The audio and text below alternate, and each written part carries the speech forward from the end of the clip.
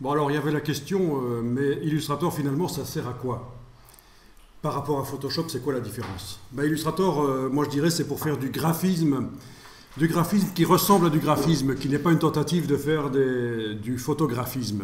Des choses, c'est vraiment, on voit que c'est du graphisme, on s'amuse, il y a un langage graphique, il y a une référence à euh, une époque du graphisme à chaque fois différente.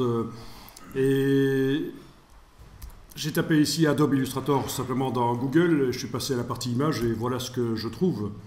Donc c'est extrêmement varié ce qu'il est possible de faire. Hein. Voilà, référence un peu à Roy Lichtenstein ici, euh, pour ceux qui connaissent.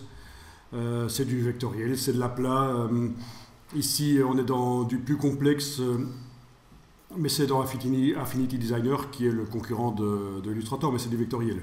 Affinity Designer. Si vous voulez, moi je ne suis pas là pour faire la publicité de Adobe, hein. donc si vous voulez passer à Affinity Designer à un certain moment, ça coûte 100 euros, voire même 50 quand ils font des promos, je pense, et euh, c'est une licence perpétuelle, donc vous l'avez une fois pour toutes. Euh, euh, Illustrator, ça va vous coûter quelques dizaines d'euros chaque mois, parce que vous devez prendre un pack avec les autres logiciels.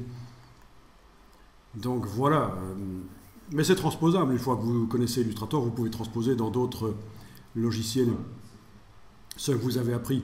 Je ne vous conseillerais pas euh, Inkscape, le logiciel open source, euh, qui, à mon avis, n'est pas aussi performant, mais euh, les produits de Affinity sont pas chers et, sont performants. Mais voilà, il y a de l'open source. Vous connaissez un GIMP pour remplacer Photoshop, Inkscape pour remplacer Illustrator, Scribus pour remplacer InDesign.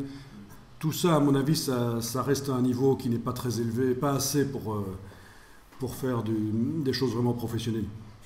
Mais ce n'est que mon avis. Hein. Voilà. Donc, au niveau des possibilités dans Illustrator, c'est euh, vraiment très très large.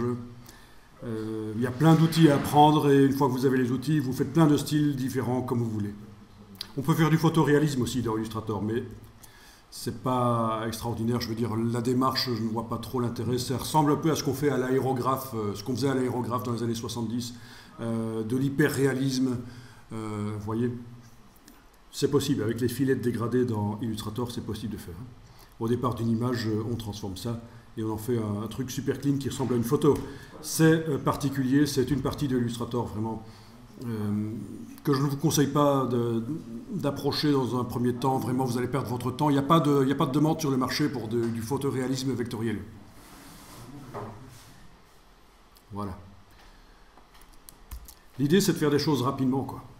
D'arriver à faire des choses rapidement et de s'amuser et d'avoir des choses expressives pour bien faire.